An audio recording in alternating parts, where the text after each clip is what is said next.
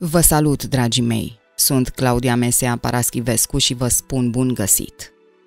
Astăzi povestim despre necazurile și încercările călugărilor din vremurile de pe urmă și profeții ale zilelor din urmă, după un material scris de jurnalistul și scriitorul George Hodorogea. În zorii creștinismului, sfinții părinți și călugării primelor veacuri trăiau vieți de o sfințenie profundă, fiind înzestrați cu haruri divine și puteri spirituale extraordinare.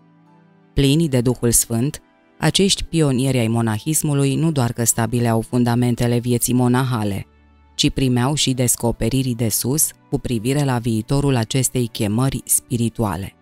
Profețiile lor referitoare la monahismul vremurilor de pe urmă sunt cât se poate de revelatoare și par să se împlinească chiar în zilele noastre.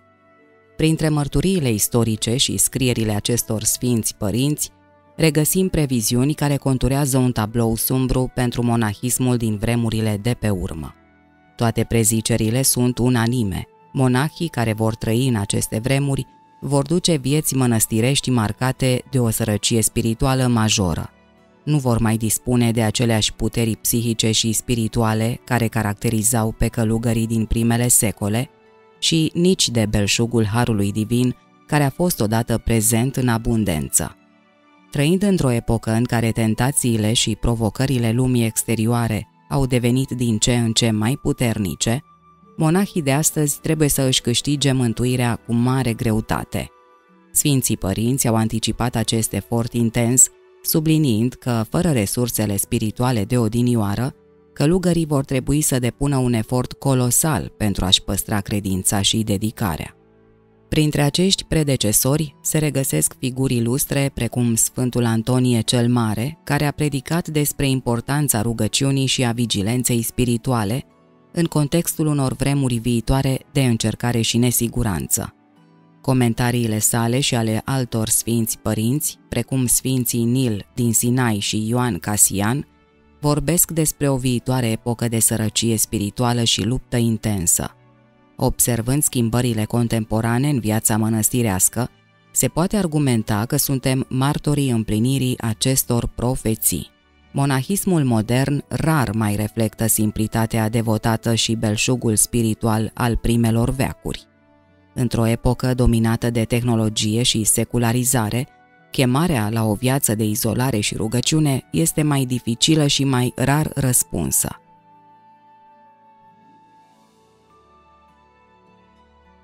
Mănăstirile contemporane, deși păstrează tradițiile și rugăciunile străvechi, se confruntă cu o presiune enormă de a se adapta la noile realități sociale și tehnologice. Lipsa puterii spirituale și a harului abundent care caracterizau începuturile monahismului creează un peisaj ascetic de o austeritate care poate părea copleșitoare pentru mulți. Viziunea duhovnicească a călugărului egiptean Într-o liniștită mănăstire din inima Egiptului, trăia un călugăr devotat, cunoscut pentru viața sa ascetică și iubirea profundă față de Dumnezeu. Într-o zi acesta a căzut într-un extaz duhovnicesc, iar sufletul i-a fost purtat deasupra celor pământești într-un tărâm spiritual de nedescris. În această stare de grație divină, călugărul a primit o viziune care avea să ilumineze înțelegerea asupra chemării monahale din vremurile de pe urmă. În viziunea sa, călugărul s-a văzut pe un mal al mării nesfârșite, alături de trei alți călugări. Pe celălalt mal, un luminiș sfânt strălucea nepământean, iar o voce puternică, dar plină de o iubire inegalabilă, le striga, luați aripi și veniți la mine. La auzul acestor chemări divine, doi dintre călugări au primit imediat aripi de foc, strălucind cu o intensitate care reflecta puritatea și puterea lor spirituală. Cu entuziasm și încredere, aceștia au zburat de îndată deasupra apelor, traversând marea fără efort și ajungând la malul celălalt unde au fost primiți cu brațele deschise de lumina divină. În viziunea călugărului egiptean, aceștia simbolizau monahismul primelor veacuri creștine, plin de har și abundență spirituală. Însă al treilea călugăr a rămas singur pe malul său, privindu-și cu tristețe și disperare frații plecând. Cu inima zdrobită a început să plângă și să strige către Dumnezeu, cerându-i și el aripi. În cele din urmă i-au fost date aripi, dar acestea nu erau de foc, ci slabe și fragile. Cuprins de frică, călugărul a pornit în zbor peste mare, întâlnind nenumărate obstacole. De multe ori, puterile îl părăseau și îi se prăbușea în valuri, înnecat în lupta cu propria neputință. În apă, călugărul striga din adâncul sufletului său, când ridicându-se deasupra valurilor, când fiind acoperit de ele. În acest zbucium, fiind epuizat și aproape copleșit de valuri, continua să strige către Dumnezeu cu o voce tânguitoare, ridicându-se o clipă doar pentru a cădea din nou în îmbrățișarea rece a mării. Cu toate acestea, perseverând în credință și cu ochii sufletului ațintiți spre lumina divină, sleit de puteri și curăni adânci, a reușit în cele din urmă să ajungă la malul celălalt.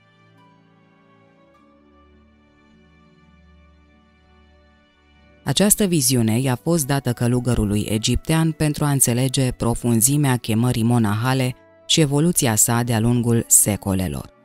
Primii doi călugări care au traversat marea cu aripi de foc simbolizau monahismul primelor veacuri creștine, acea perioadă de aur când sfinții umblau printre oameni, iar harul divin era abundent.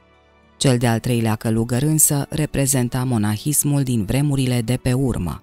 Deși chemarea era aceeași, iar dorința de a ajunge la Dumnezeu la fel de arzătoare, Marea credință a trebuit să se confrunte cu lipsa resurselor spirituale care existau odinioară. Lupta sa cu valurile simboliza provocările și dificultățile imense cu care se confruntă monahii contemporani, atât numeric slabi, cât și în realizările lor ascetice și spirituale.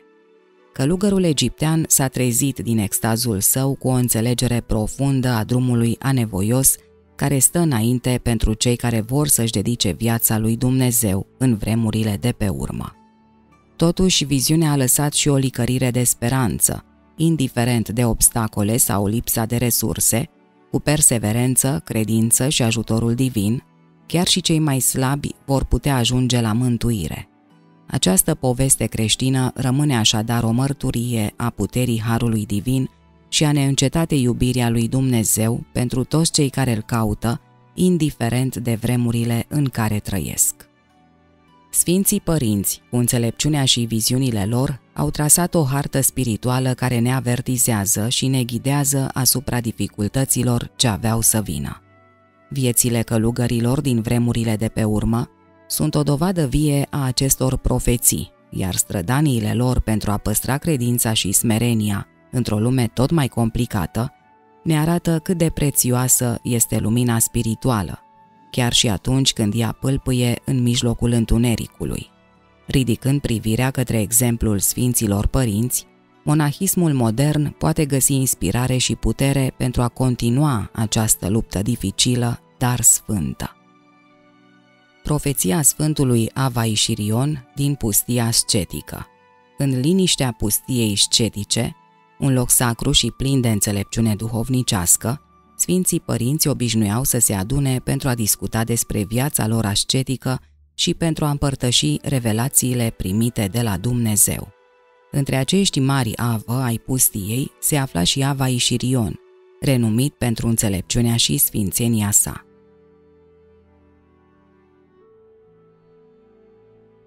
Într-o zi, părinții se adunară și începură să vorbească profetic despre neamul de pe urmă, dorind să înțeleagă destinul celor care vor veni după ei. Unul dintre părinți, cu o privire plină de meditație, întrebă Ce am făcut noi? Liniștea se așternu peste pustie, iar toți așteptau răspunsul marelui Ava Ișirion. Acesta, după ce meditase o clipă, răspunse cu glas domol și ferm, noi am împlinit poruncile lui Dumnezeu. Cei prezenți, dorind să afle mai multe, continuară să întrebe și ce vor face cei ce vor veni după noi. Ava Ișirion îi privi cu ochii adânciți în rugăciune și le răspunse. Ei vor împlini pe jumătate ceea ce am făcut noi. Părinții, într-un elan de curiozitate, mai întrebară odată. Și ce vor face cei ce vor veni după ei? Ava Ișirion îi privi din nou, de această dată cu o tristă înțelepciune, și răspunse Ei nu vor împlini nicio lucrare călugărească, dar vor fi încercați de ispite și aceia dintre ei care vor stărui până la sfârșit vor fi mai mari decât noi și decât părinții noștri. Cuvintele lui Ava și Rion au pătruns adânc în sufletele părinților adunați. Ei înțelegeau că timpurii de mari încercări se vor abate asupra neamului creștin. Generațiile ce vor urma nu vor mai avea puterea ascetică și harul abundent al părinților din pustie. Totuși, mesajul avea și un substrat plin de speranță și îmbărbătare. Cei ce vor reuși să reziste ispitelor și să rămână devotați până la sfârșit, vor fi considerați mai mari decât cei din vechime. Aceasta pentru că, în pofida dificultăților imense și a lipsei de resurse spirituale, credința lor statornică și lupta lor neobosită vor fi un mare act de mărturisire a iubirii și devotamentului față de Dumnezeu. Profeția lui Ava Ișirion s-a răspândit și a fost păstrată ca o prețioasă învățătură printre monahi și creștinii de pretutindeni. De-a lungul secolelor, multe generații de călugări au reflectat asupra acestor cuvinte, găsindu-și puterea în ele atunci când se confruntau cu propriile lor ispite și încercări.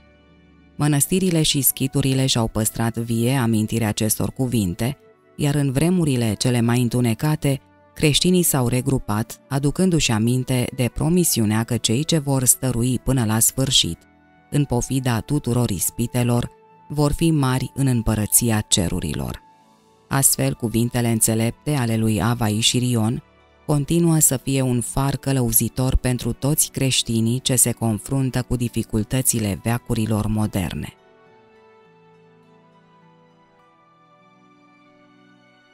Ele ne reamintesc că, indiferent de cât de mari sunt încercările și ispitele, perseverența, credința și devotamentul sincer față de Dumnezeu vor fi întotdeauna răsplătite – și poate în zilele noastre, cuvintele acestui mare Ava din pustia scetică sunt mai relevante și mai necesare ca oricând, insuflând curaj și speranță în inimile tuturor celor care caută să trăiască o viață devotată lui Dumnezeu. Pacea regăsită a arhimandritului Arcadie Într-o zi de toamnă târzie, arhimandritul Arcadie, superiorul venerabilei mănăstiri Sfântul Kiril din Novozersk, se simțea copleșit de o tristețe adâncă. Nu putea găsi un motiv clar pentru această stare de melancolie, însă inima sa era apăsată de un sentiment de neliniște și deznădejde. Slujbele devin uneori un refugiu și astfel s-a îndreptat cu sufletul tulburat spre biserică pentru utrenie, sperând să găsească alinare în rugăciune. Ajuns în biserica din preună închinată Sfântului Chiril, arhimandritul se așeză printre ceilalți monahi. În timp ce cântările și psalmii răsunau în jurul lor, mintea acestuia rătăcea departe de cuvintele sacre, căutând în zadar răspunsuri la neliniștile ce îl frământau. Trupul îi era prezent acolo, dar gândurile îi alergau necontenit, neatente la frumusețea slujbei. Atunci îl copleși o moliciune binefăcătoare. Ochii închiși, fără a fi adormit, auzea încă limpede fiecare cuvânt ce se rostea într-un fel de absență contemplativă. În această stare intermediară, între veghie și vis, a avut o vedenie extraordinară. În fața lui a apărut patronul mănăstirii, Sfântul Chiril, într-o lumină blândă și liniștitoare. Arhimandritul simți un freamăt de uimire și devoțiune, căci prezența Sfântului îi adusese o pace mai profundă decât orice altceva ar fi putut imagina. Sfântul Chiril, cu o expresie plină de compasiune și înțelepciune, îi vorbi. De ce ești abătut? Nu știi tu că monahii din vremurile de pe urmă se vor mântui prin ispite? Aceste cuvinte, rostite cu o dulceață cerească, răsunară în sufletul lui Arcadie ca o revelație divină. Își reveni din starea de semi-absență, într-un mod brusc, dar blând, ca și cum ar fi fost trezit dintr-un somn adânc de o mână iubitoare. Deschise ochii și se simți complet transformat. Tristețea sa dispăru, fiind înlocuită de o pace adâncă și binecuvântată.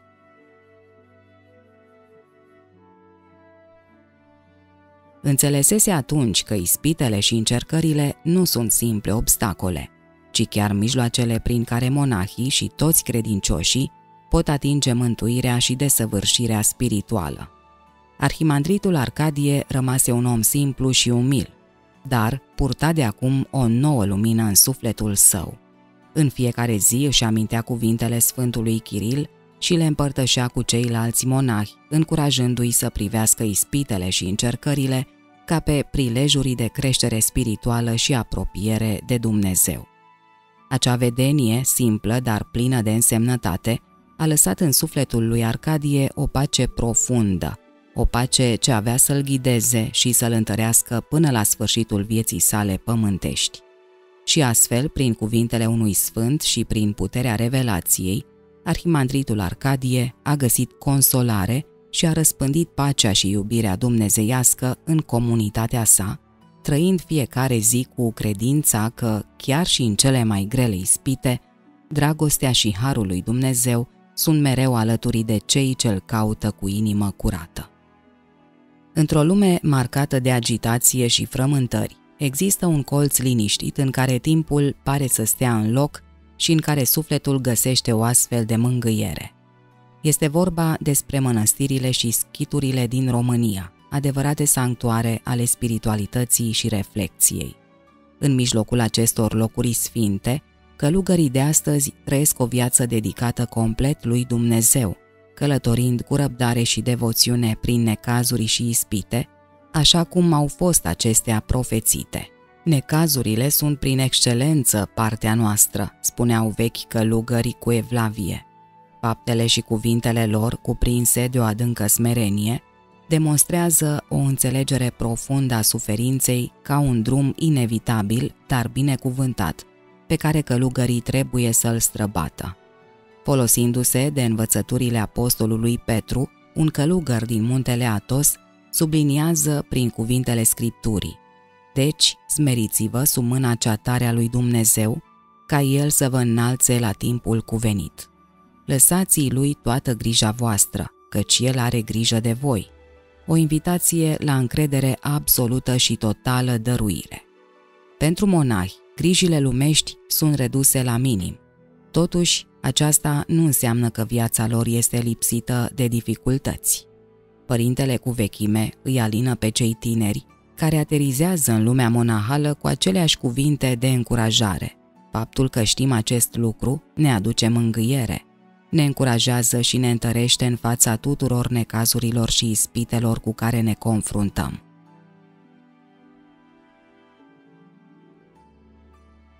Mănăstirea își deschide porțile fiecărui suflet îndurerat, unde fiecare vinovat, apăsat de povara păcatelor și suferințelor, găsește alinare în rugăciune și rigorile vieții monahale. Astfel, monahii reușesc să transforme necazurile în oportunități de purificare spirituală, angajându-se cu atenție în împlinirea poruncilor Evangheliei. Vocea Sfinților Călugări, un ghid spiritual pentru mulți, răsună clar și cald în liniștea amurgului. Din toată inima să ne lăsăm lucrați prin necazuri, împlinind cu mare grijă poruncile Evangheliei. Aceasta este voia lui Dumnezeu cu noi. Și cu aceste cuvinte, ei reiterează chemarea la o viață trăită în smerenie și obediență. O vizită repetată la o mănăstire dezvăluie imaginea unei comunități care, cu toate greutățile ei, radiază serenitate și încredere în planul divin. Poate că pentru mulți, dificultățile vieții monahale par greu de înțeles, dar tocmai aceste provocări apropie sufletul de o stare de pace interioară și de comuniune cu Dumnezeu, pe care cei din afară doar o pot intui. Prin acceptarea cu seninătate a necazurilor, călugării contemporani îmbrățișează o adevărată misiune spirituală, devenind călăuzitorii de lumină și speranță pentru toți cei care îi vizitează. Astfel, ei reînnoiesc minunatul legământ de credință, avansând pași mici și siguri pe cărarea divină spre mântuire. Iubiți credincioși, nu ratați niciodată ocazia de a merge să vizitați o mănăstire, mai ales când aceasta se află în calea voastră. Prieteni, îi mulțumim lui George Hodorogea pentru acest material minunat și vouă pentru atenție. Să ne reauzim cu bine pe curând!